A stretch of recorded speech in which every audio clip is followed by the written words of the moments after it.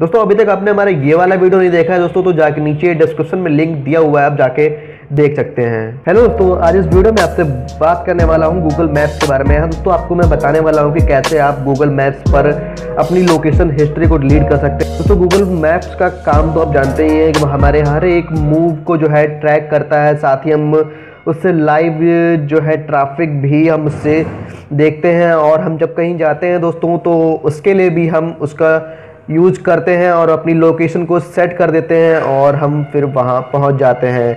लेकिन दोस्तों, ऐसे में क्या होता है कि हम जो है अपनी लोकेशन हिस्ट्री जो होती है, यानी हम जहाँ भी गए, हम वहाँ और मतलब काफ़ी सारी जैसे हम हिस्ट्री मतलब एक तरीके से हम गूगल पर सर्च करते हैं, वही प्रकार से हिस्ट्री जो है गूगल मैप्स पर भी हमारी इकट्ठा हो जाती हैं। तो आज मैं आपको बताऊँगा कि कैसे आप अपनी गूगल हिस्ट्री को डिलीट कर सकते हैं परमानेंटली डिलीट कर सकते हैं, या फिर अपनी जो, चाहे तो वन डे की जो जर्नी आपकी होती है, वो आप डिलीट कर सकते हैं। तो दोस्तों, आपको मैं यही आज बताने वाला हूँ। समझ में आ जाएगा कि कैसे आप दोस्तों वीडियो को एंड तक देखिएगा और आपको समझ में आ जाएगा कि कैसे आप जो है इसको डिलीट कर सकते हैं।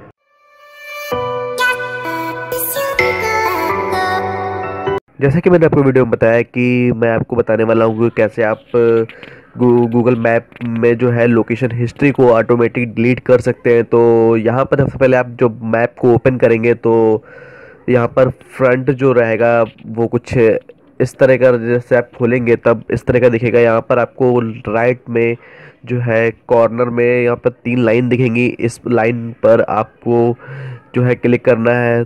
जैसे ही आप यहाँ पर क्लिक करेंगे तो आपको क्या होगा यहाँ पर मेनू खुल के आ जाएगा। एक जो है गूगल मैप्स और फिर इसके नीचे योर प्लेस और उसके बाद में योर टाइम लाइन तो आपको योर टाइम लाइन पर क्लिक करना है। जैसे आप योर टाइम लाइन पर क्लिक कर देते हैं तो उसके बाद में कुछ इस तरह का व्यू आपको यहाँ पर देखने को मिलेगा। और जैसे कि अभी तो फ़िलहाल मैंने नेट नहीं ऑन कर रखा है। फ़िलहाल मैंने आपको बताने के लिए केवल आपको यही स्टेप फॉलो करने हैं। इसलिए यहाँ पर लिख के आ रहा है map is offline check your network connection तो जैसा यहाँ पर दिया हुआ डे प्लेस और यहाँ पर सिटीज़ वर्ल्ड दे रखा है और साथ में आपको वर्ल्ड के ऊपर दिख रहा होगा कॉर्नर में लेफ़्ट साइड में थ्री डॉट्स तो इस डॉट्स पर आपको क्लिक करना है।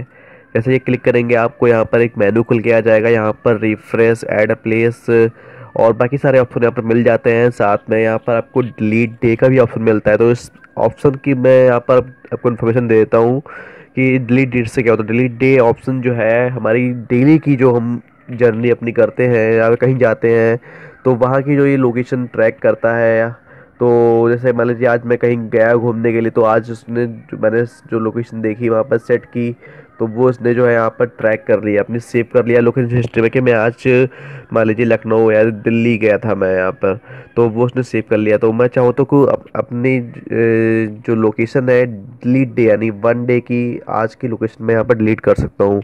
इसके बाद में आप नीचे आएँगे तो यहाँ पर सेटिंग एंड प्राइवेसी इसके बाद में जो है इसे हम इस पर क्लिक करेंगे। इसके बाद में हमें जो है ये मेनू यहाँ पर देखने को मिल जाएगा तो उसको हम नीचे स्क्रॉल करेंगे, नीचे नीचे आएँगे तो नीचे हमें ये देखने को मिलेगा यहाँ पर। यहीं पर जो है आपको जो है ऑटोमेटिकली डिलीट लोकेशन हिस्ट्री का ऑप्शन दिख जाएगा, इस पर आपको क्लिक करना है। जैसे आप इस पर क्लिक करेंगे, यहाँ पर आपको तीन ऑप्शन देखने को मिल जाएँगे man I delete keep until I delete manually और keep for eight month keep for three months तो मैनुअली से क्या होगा कि जब तक आप अपनी सेटिंग को डिलीट नहीं करते, तब तक डिलीट नहीं होंगी।